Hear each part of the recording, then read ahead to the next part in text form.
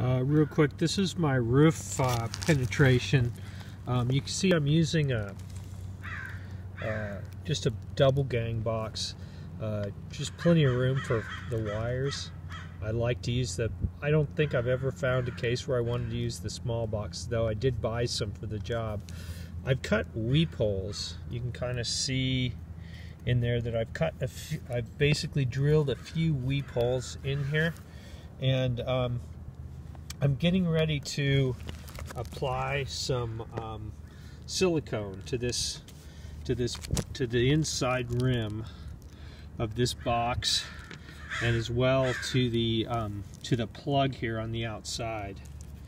Um, and the only other thing that sort of came up is I'm installing the panels and I really didn't plan much for the um, for the PV array cables. Um, and these are Hanwha panels, and they're and the and the and the the cables are kind of the distribution um, boxes somewhere around here on the panels. So um, it's kind of I've got I've had to do tie wraps. Um, you can kind of maybe see here.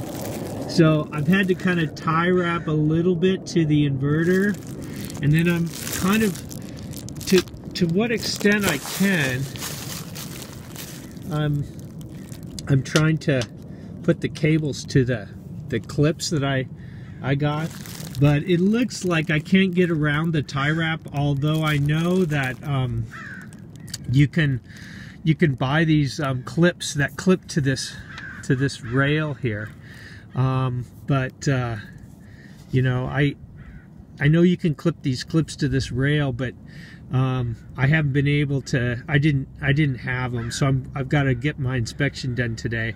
But um, I think you might need to prepare to have some tie wraps with you.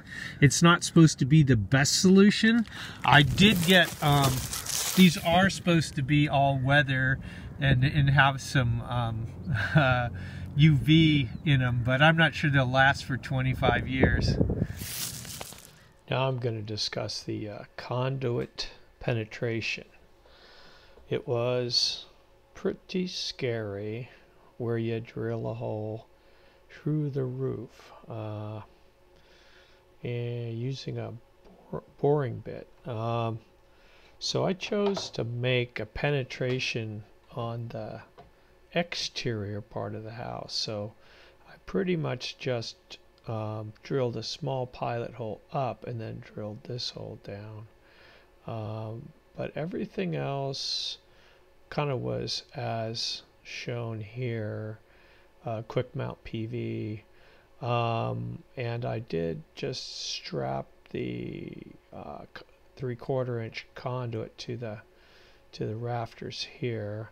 I wasn't I was on the exterior I wasn't in the attic which I think would make things a little different in terms of code. So, and also in terms of risk.